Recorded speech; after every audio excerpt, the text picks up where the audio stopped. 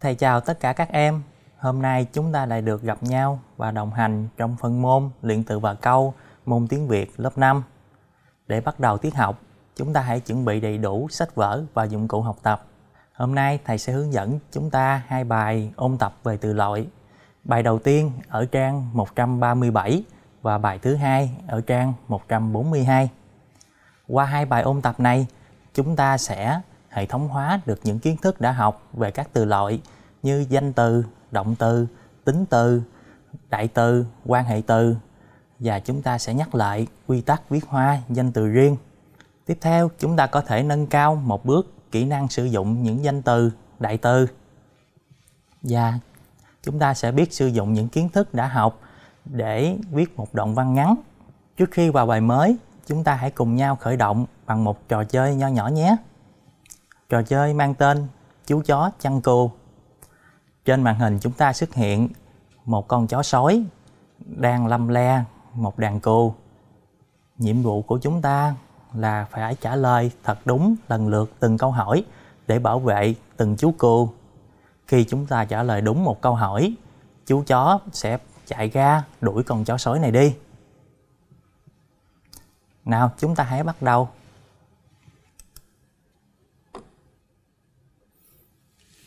Câu đầu tiên, danh từ là gì? À, kiến thức này chúng ta đã được học ở lớp 4. Danh từ là những từ chỉ sự vật như là người, vật, hiện tượng, khái niệm hoặc đơn vị. Vậy là chúng ta bảo vệ được chú cừu đầu tiên.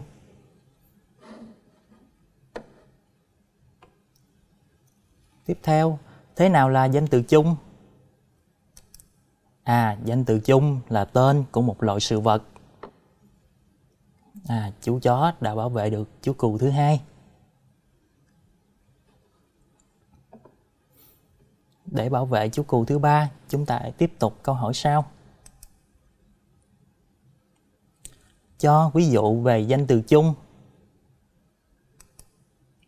Thầy có các ví dụ sau: bàn, ghế, học sinh, mưa, nắng. Đó là những danh từ chung. Một lần nữa, chúng ta đã bảo vệ được chú cừu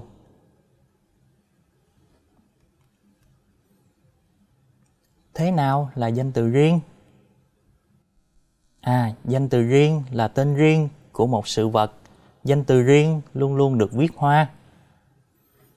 À còn chó sói vẫn còn đứng đó. Vậy là chúng ta bảo vệ chưa đúng chú cừu thì chúng ta hãy bảo vệ chú cừu cuối cùng. Cho ví dụ về danh từ riêng. Thầy có các ví dụ sau: thành phố Trà Vinh, thị xã Duyên Hải, sông Long Bình. Đó chính là những danh từ riêng. Tên chúng ta cũng chính là danh từ riêng đó các em. À, cuối cùng con chó sói đã chạy đi mất. Chúng ta đã bảo vệ được những chú cừu và đã ôn tập lại kiến thức. Để tiếp tục ôn tập về từ loại Chúng ta hãy mở sách giáo khoa trang 137 để cùng nhau khám phá bài học mới. Bài tập 1 Đọc đoạn văn sau, tìm danh từ riêng và ba danh từ chung trong đoạn văn. Các em hãy đọc thầm đoạn văn theo thầy. Chị, Nguyên quay sang tôi, giọng nghẹn ngào. Chị, chị là chị gái của em nhé. Tôi nhìn em cười trong hai hàng nước mắt kéo vệt trên má chị sẽ là chị của em mãi mãi. Nguyên cười rồi đưa tay lên quệt má. Tôi chẳng buồn lau mặt nữa. Chúng tôi đứng như vậy nhìn ra phía xa sáng rực ánh đèn màu. Xung quanh là tiếng đàn, tiếng hát khi xa, khi gần, chào mừng mùa xuân, một năm mới bắt đầu. Theo Thùy Linh. Bài tập này yêu cầu chúng ta làm gì? À, bài tập này yêu cầu chúng ta tìm danh từ riêng và ba danh từ chung. Dựa vào kiến thức chúng ta vừa ôn tập, thầy tin chắc chúng ta dễ dàng tìm được.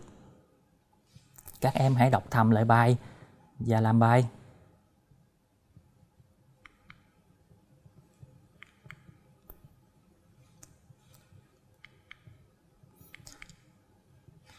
Và sau đây là kết quả của thầy. Danh từ riêng ta có từ nguyên. Danh từ chung là giọng, chị gái, hàng, nước mắt, má, tay, vân vân. Còn nhiều danh từ chung khác chúng ta có thể tìm thêm. Ở đây chúng ta thấy danh từ riêng nguyên được viết hoa. Vậy quy tắc viết hoa danh từ riêng như thế nào? Chúng ta hãy cùng nhau tìm hiểu ở bài tập số 2. Bài tập 2 nhắc lại quy tắc viết hoa danh từ riêng đã học. Chúng ta hãy cùng nhau nhớ lại quy tắc viết hoa chúng ta đã học ở năm lớp 4. À, khi viết tên người, tên địa lý Việt Nam cần viết hoa chữ cái đầu của mỗi tiếng tạo thành tên riêng đó. Ví dụ, Trà Vinh, Lê Văn Tám. Tiếp theo, khi viết tên người, tên địa lý nước ngoài, ta viết hoa chữ cái đầu của mỗi bộ phận tạo thành tên đó. Nếu bộ phận tạo thành tên gồm nhiều tiếng thì giữa các tiếng cần có dấu gạch nối. Ví dụ, Paris, Nelson Mandela. Cuối cùng, những tên riêng nước ngoài được phiên âm theo âm Hán Việt thì viết hoa giống như cách viết tên riêng Việt Nam. Ví dụ, Tây Ban Nha, Bắc Kinh. Chúng ta vừa nhắc lại về danh từ riêng, danh từ chung. Để tiếp tục ôn tập về từ loại, chúng ta sẽ chuyển sang bài tập số 3. Bài tập 3, tìm đại từ xưng hô trong đoạn văn ở bài tập 1. Bài tập này yêu cầu chúng ta tìm đại từ xưng hô có trong đoạn văn ở bài tập 1. Trước khi làm bài, chúng ta hãy cùng nhau nhớ lại đại từ xưng hô là gì?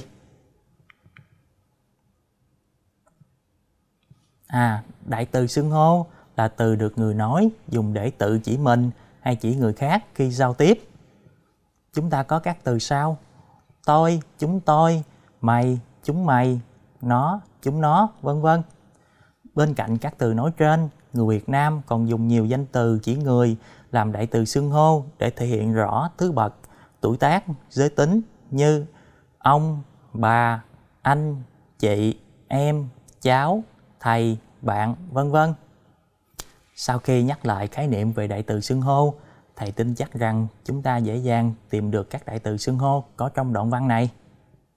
Các em hãy đọc thầm lại đoạn văn và cùng nhau làm bài. Chị, Nguyên quay sang tôi, giọng nghẹn ngào. Chị, chị là chị gái của em nhé. Tôi nhìn em cười trong hai hàng nước mắt kéo vệt trên má. Chị sẽ là chị của em mãi mãi. Nguyên cười rồi đưa tay lên quệt má. Tôi chẳng buồn lau mặt nữa. Chúng tôi đứng như vậy nhìn ra phía xa sáng rực ánh đèn màu. Xung quanh là tiếng đàn, tiếng hát khi xa, khi gần, chào mừng mùa xuân, một năm mới bắt đầu. Theo Thùy Linh. Và đây là kết quả của thầy. Những từ thầy tô màu vàng chính là đại từ xưng hô có trong đoạn văn. Trong đoạn văn này, chúng ta cần lưu ý thêm. Từ chị gái trong câu, chị là chị gái của em nhé, là danh từ. Và từ chị trong câu, chị sẽ là chị của em mãi mãi, cũng chính là danh từ.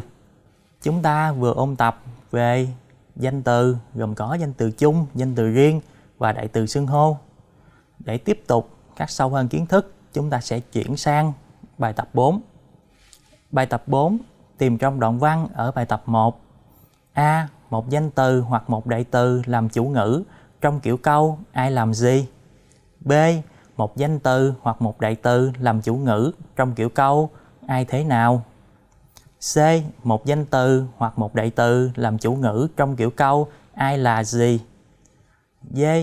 Một danh từ tham gia bộ phận vị ngữ, trong kiểu câu, ai là gì. Chúng ta hãy đọc thầm lại đoạn văn ở bài tập 1 để tiến hành làm bài.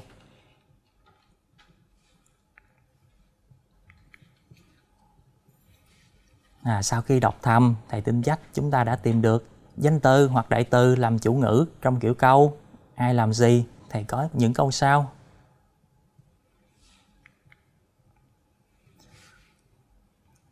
Ở đây chúng ta thấy nguyên là danh từ làm chủ ngữ trong kiểu câu ai làm gì và tôi là đại từ giữ chức vụ chủ ngữ trong kiểu câu ai làm gì.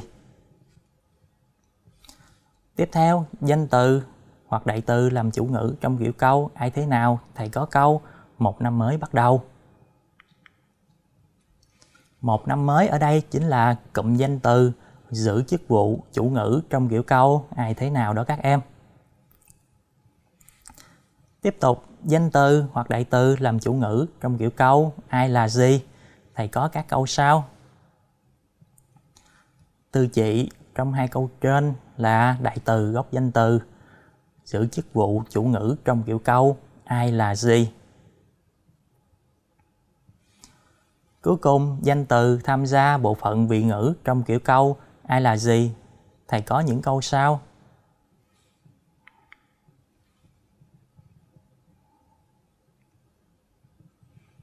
Sau khi phân tích cấu tạo của câu, chúng ta thấy từ chị gái trong câu chị là chị gái của em nhé.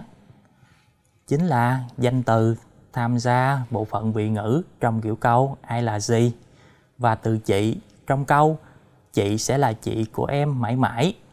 Mà thầy đã tô màu vàng là danh từ tham gia bộ phận vị ngữ trong kiểu câu ai là gì.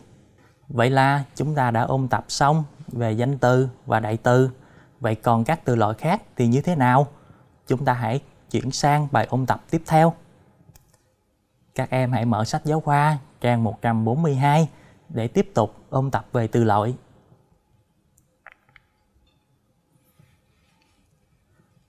Bài tập 1 Xếp các từ in đậm trong đoạn văn sau vào bảng bên dưới.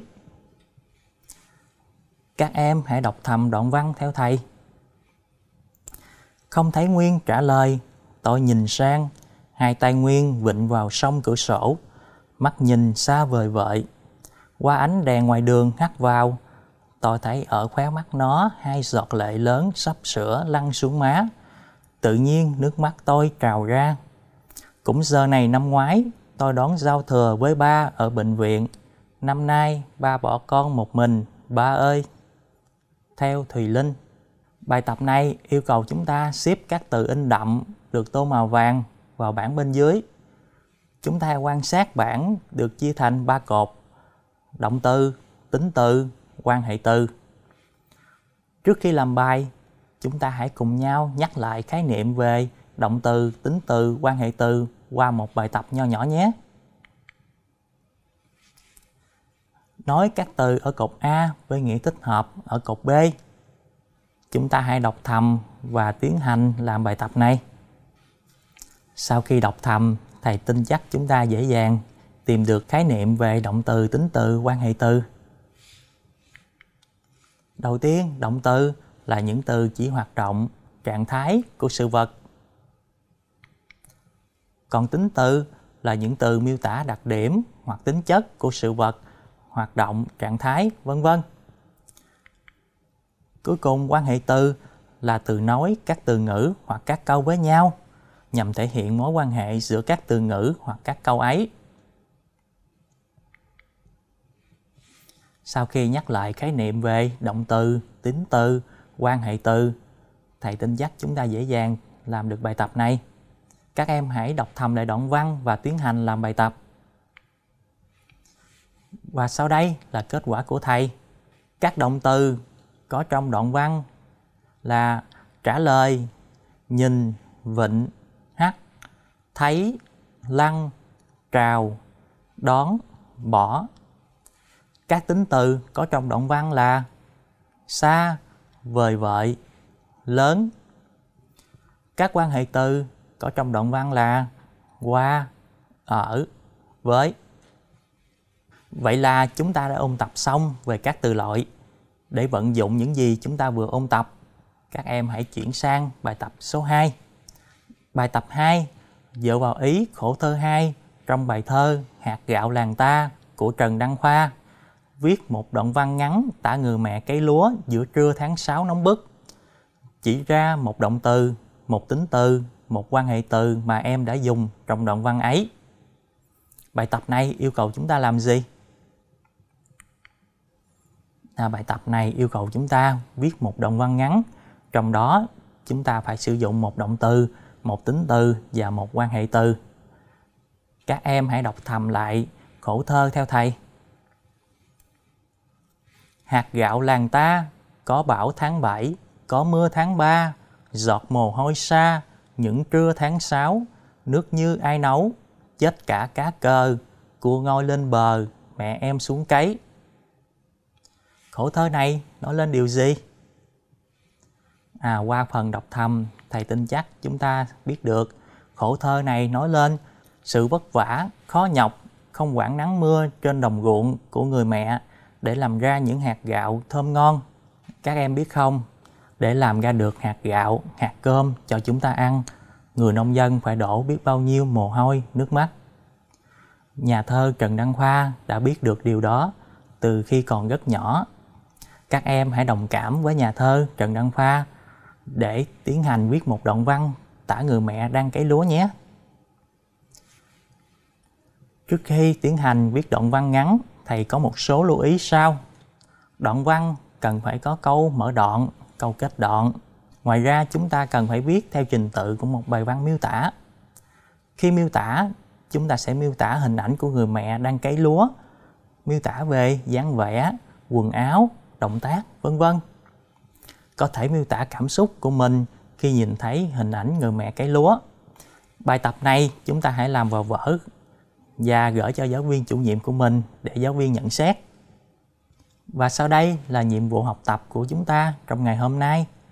Đầu tiên chúng ta sẽ xem lại kiến thức đã học về các từ loại như là danh từ, động từ, tính từ, quan hệ từ và đại từ.